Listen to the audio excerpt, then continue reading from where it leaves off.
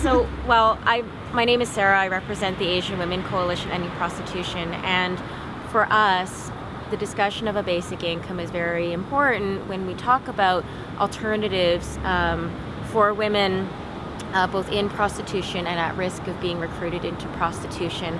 Um, here in Canada, uh, we know that um, there's a huge uh, trade in both women and girls, um, and that Asian women are often trafficked into Canada um, for the purpose of the sex trade.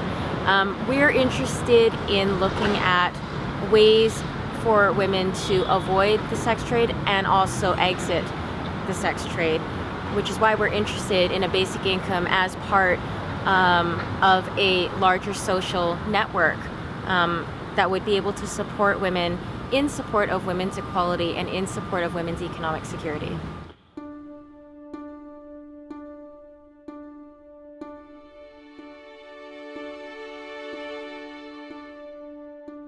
Absolutely, there are other reasons. Um, primarily, women's economic insecurity is a huge reason why uh, women enter prostitution.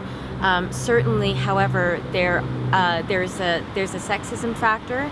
Um, it's disproportionately women and girls that are recruited for the sex trade, um, but also uh, my group talks a lot about sexualized racism in prostitution, and that is to say that certain women um, of particular races are recruited for the sex trade. Um, here in Canada, we see uh, a lot of the Native women recruited to the sex trade and a lot of Asian women recruited to the sex trade based on racist and sexist stereotypes. So, those are the things that we are hoping a basic income will address by providing women with that alternative.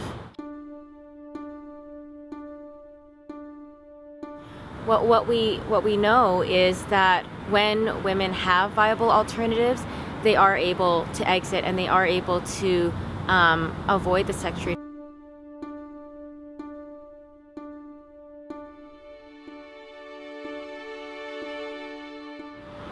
I think basic income has the potential to target um, many exploitative and many harmful and many non-productive um, areas of work. Um, and so a basic income would be able to both undermine those industries, but also support the people that are in those industries working um, in jobs that they probably don't want to be working in in the first place. Thank you very much.